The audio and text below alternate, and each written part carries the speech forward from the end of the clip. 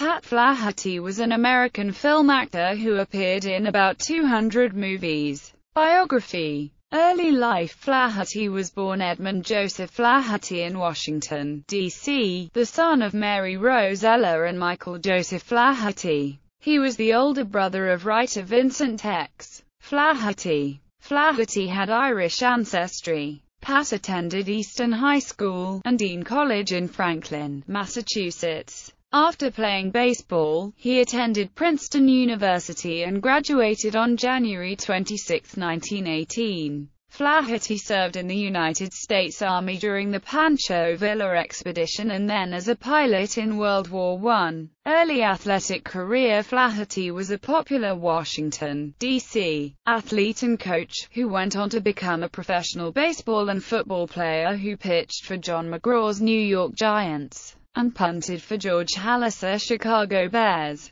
After his professional athletic career ended, he went into the music publishing business with the legendary DeSylva, Brown and Henderson during the time of Mayor Jimmy Walker in New York. Acting career Flaherty relocated to Hollywood to take a position as a producer at 20th Century Fox for the owner Joseph P. Kennedy when the Great Depression began. Subsequently, he found work as an actor and technical advisor in over 200 motion pictures. Flaherty can be seen in roles both large and small in films such as Death on the Diamond, Mutiny on the Bounty, Sergeant York, The Pride of the Yankees, It Happened in Flatbush, and a bit appearance as a bewildered Marine in Stage Door Canteen. In 1943 he was commissioned in the U.S. Marine Corps as a captain. He returned to the Corps for the Korean War and finished his service as a major. He resumed his acting career after the war with The Stratton Story, The Jackie Robinson Story and The Winning Team.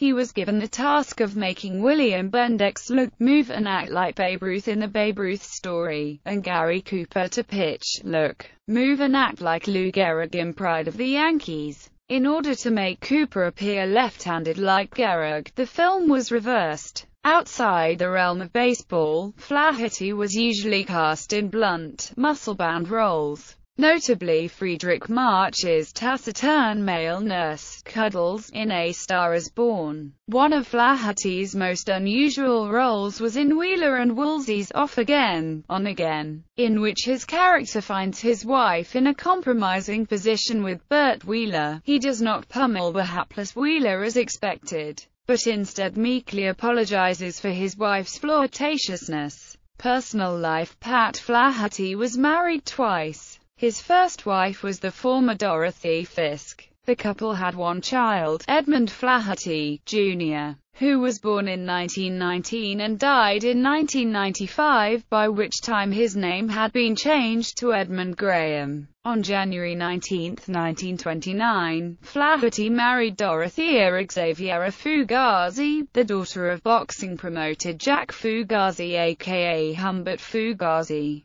They had two children, Patrick Joseph Flaherty and Francis X. Flaherty Knox. Death Flaherty died on December 4, 1970, in New York City of a heart attack. He was a man of many talents who knew how to live life to the fullest by making many friends. The list of celebrities who considered him a friend is enormous.